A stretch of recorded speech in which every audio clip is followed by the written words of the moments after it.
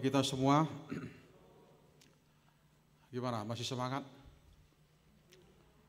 Puji Tuhan kalau semangatnya masih ya. Dan itu memang adalah obat yang cukup kuat. Saudara-saudara yang dikasihi oleh Tuhan Yesus dalam ibadah kita sore ini renungan yang akan menyapa kita saya akan bacakan dari surat Paulus kepada jemaat di Roma pasal 10 ayat 8 sampai ayat 13 seperti ini. Tetapi apakah katanya ini firman itu dekat kepadamu, yang ini di dalam mulutmu dan di dalam hatimu. Itulah firman Tuhan yang kami beritakan. Sebab jika kamu mengaku dengan mulutmu bahwa Yesus adalah Tuhan dan percaya dalam hatimu bahwa Allah telah membangkitkan dia dari antara orang mati, maka kamu akan diselamatkan. Karena dengan hati orang percaya dan dibenarkan dan dengan mulut orang mengaku dan diselamatkan.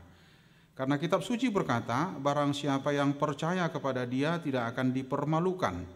Sebab tidak ada perbedaan antara orang Yahudi dan orang Yunani. Karena Allah yang satu itu adalah Tuhan dari semua orang. Kaya bagi semua orang yang berseru kepadanya. Sebab barang siapa yang berseru kepada nama Tuhan akan diselamatkan. Demikian firman Tuhan.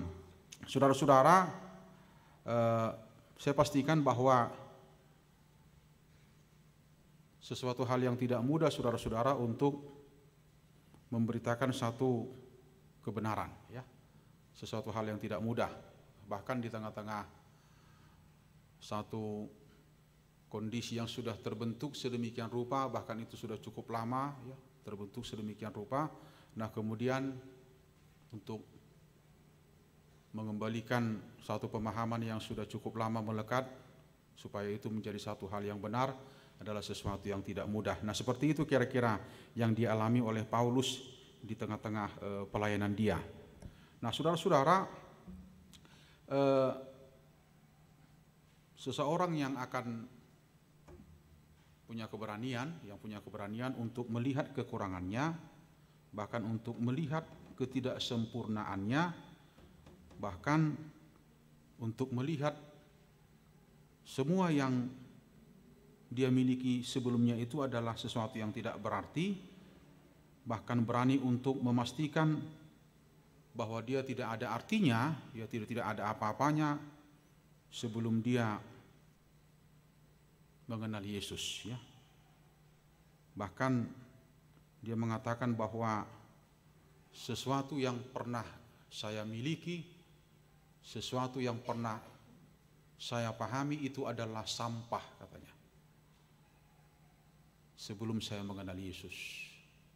Jadi ketika dia mengenal Yesus, dia lihat, dia pastikan bahwa itu nggak ada artinya apa-apa katanya. Itu yang luar biasa ya. Setelah saya mengenal Yesus, setelah saya percaya kepada Yesus, semua yang pernah saya miliki, semua yang pernah saya pahami, tidak ada yang luar biasa. Nah, memang untuk taat, untuk mendisiplinkan diri, gak ada masalah. Ya, kita bisa buat bentuk ketaatan seperti apa, bagaimana kita disiplin dan taat dengan semua itu nggak ada masalah.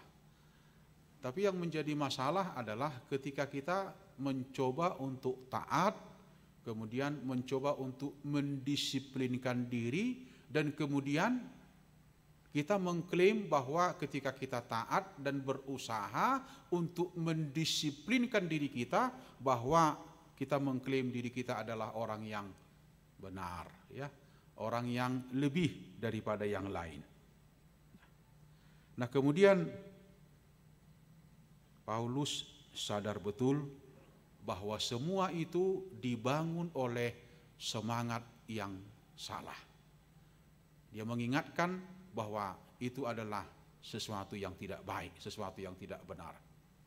Bahkan ketika kelompok-kelompok atau kelas-kelas manusia itu dibentuk dengan sistem yang sedemikian rupa terbentuk jadi ada manusia yang baik, ini sebelah kanan lah.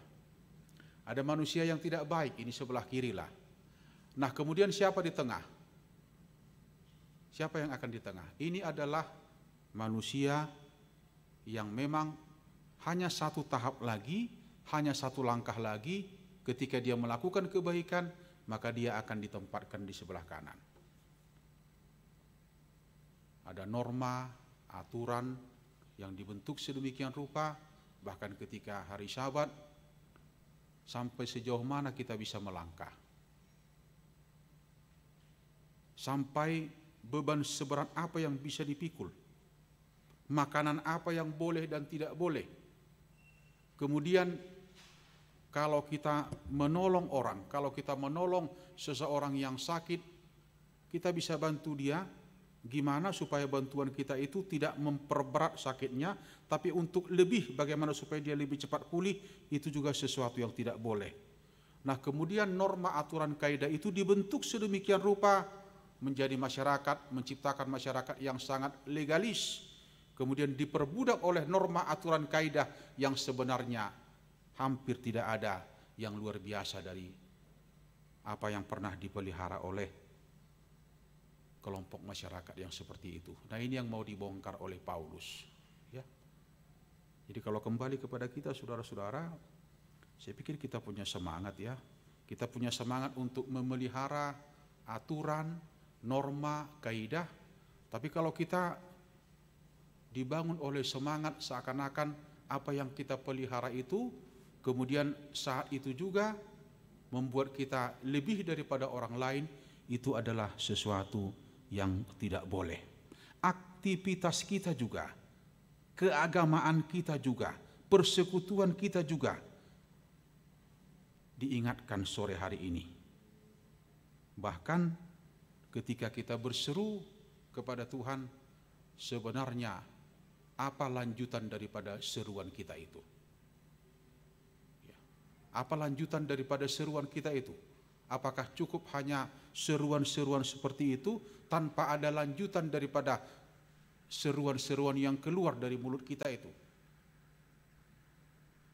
Nah, saudara-saudara, tentunya kita berseru tidak sembarang berseru.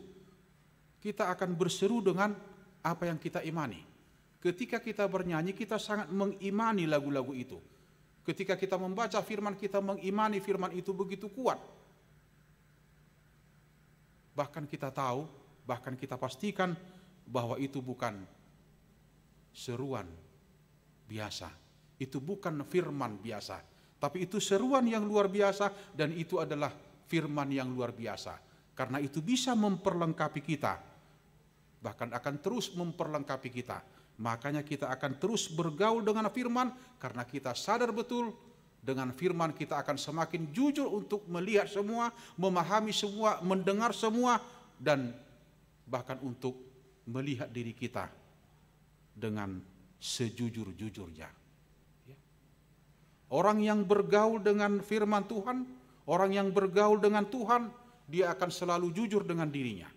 Bahkan dia akan melihat semua kealpaan, kelemahan, keterbatasan yang dia sudah miliki. Kenapa? karena firman itu akan selalu mengevaluasi kehidupannya secara pribadi. Bahkan ketika firman itu mewarnai persekutuan, maka persekutuan itu harus mau dievaluasi oleh firman. Ini sesuatu yang tidak mudah, saudara-saudara. Sesuatu yang tidak mudah, bahkan aktivitas kita juga. Aktivitas kita tidak boleh jatuh kepada rutinitas yang tidak baik, atau dalam bentuk ucapan syukur juga itu juga tidak bisa dipastikan. Ya, karena memang hidup kerohanian kita bahkan semua aktivitas-aktivitas kita yang kita klaim itu adalah aktivitas rohani. Ketika itu jatuh kepada hal-hal yang rutin saja, hampir tidak ada artinya itu menurut firman Tuhan ini. Paulus melihat setelah dia ditangkap oleh Allah, dia dipakai oleh Allah.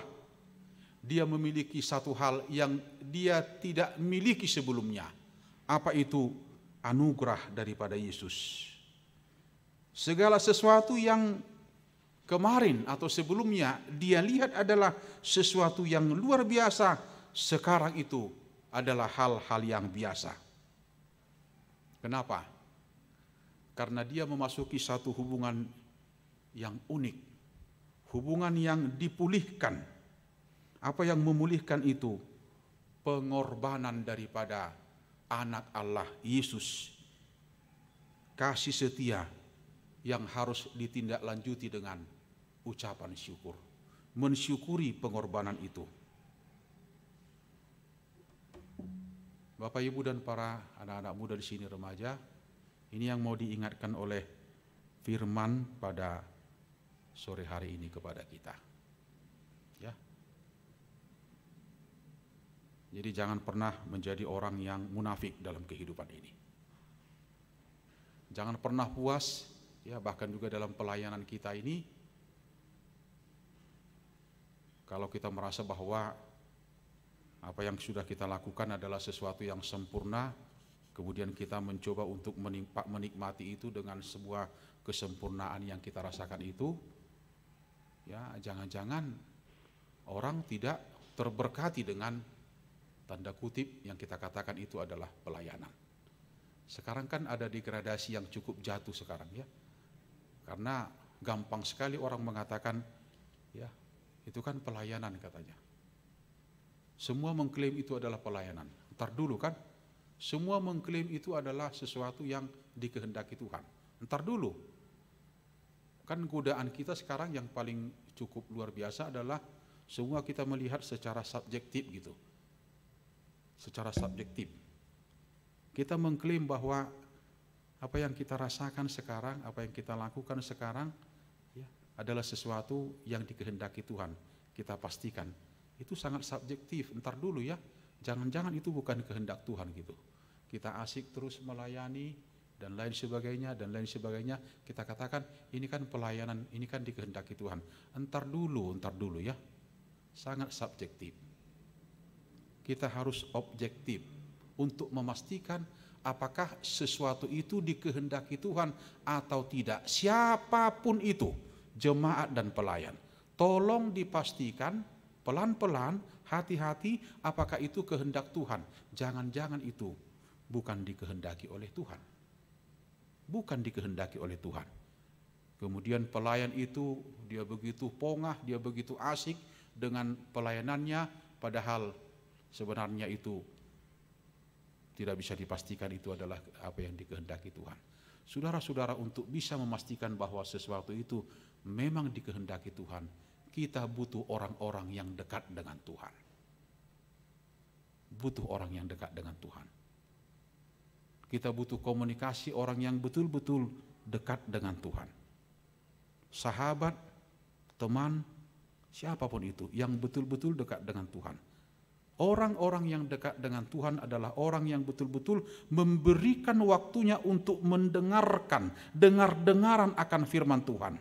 Jadi waktunya itu lebih banyak mendengarkan firman Tuhan, mendengarkan suara Tuhan, bukan mendengarkan suara orang. Makanya godaan subjektif yang saya katakan tadi itu cukup deras di tengah-tengah kehidupan kita. Gimana memastikan itu? Itu yang saya katakan tadi, kita butuh orang yang menguatkan kita, memastikan kita.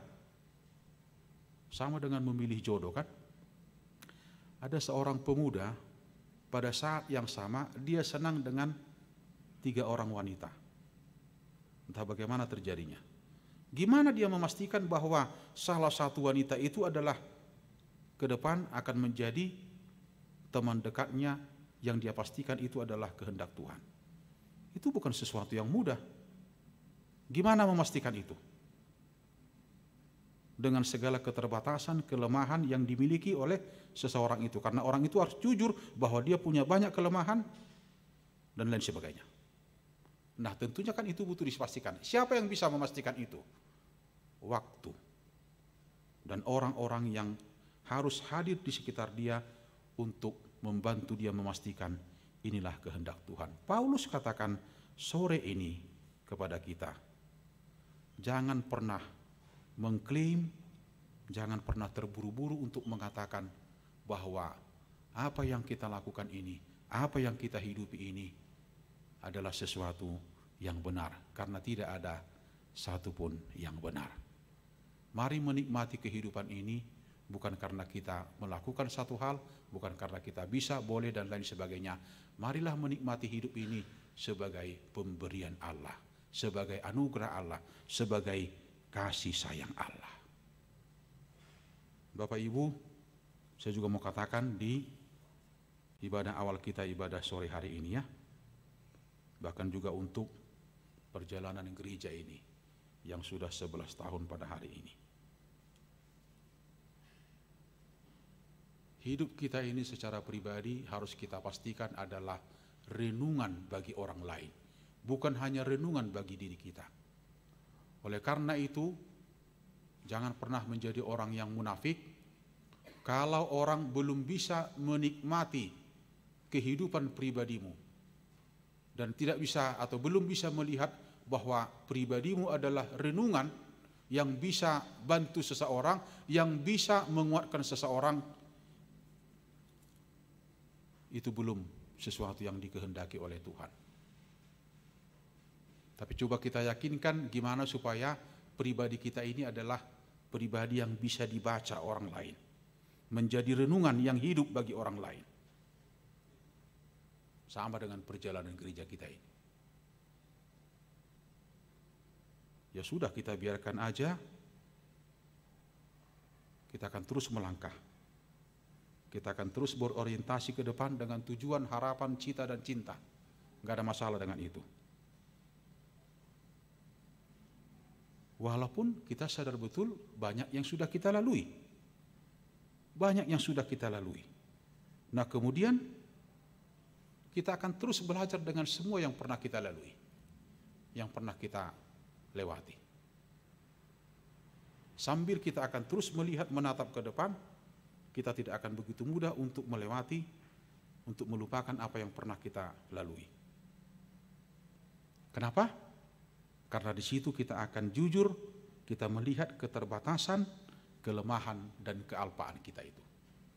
Di situ yang sulit. Di situ yang sulit. Siapa sih orang yang nggak punya masa lalu? Semua orang punya masa lalu. Soal pahit atau soal tidak pahit. Kan dia akan tinggalkan itu dengan kekinian saat ini. Dan tetap akan membangun masa depan dengan semangat itu. Tapi kita kan sadar betul bahwa itu bukan satu sejarah yang bisa kita potong-potong. Bisa kita lepas-lepas. Enggak boleh. Kalau kita lepas itu, kalau kita penggal, kita potong itu, kita menjadi pribadi yang lupa diri. Bahkan enggak mampu untuk bersyukur. Ini yang diingatkan oleh Paulus sore ini kepada kita. Jangan pernah melihat kehidupan ini secara penggalan-penggalan, terputus-putus. Supaya kita nggak lupa diri. Persoalannya di situ. Siapa pun dia. Ketika itu menjadi potongan-potongan, ya bentuk syukuran dia adalah bentuk syukuran yang terpotong-potong. Ketika dia jujur dengan semua itu, kekinian, masa depan, bahkan masa lalu, dia akan melihat secara jujur sebenarnya nggak ada rupanya apa-apanya ini. Nggak ada yang luar biasa semua hanya karena anugerah Tuhan. Semua hanya karena pemberian Tuhan. Semua hanya karena kasih sayang Tuhan. Apa yang mau saya andalkan? Gak ada, gak boleh.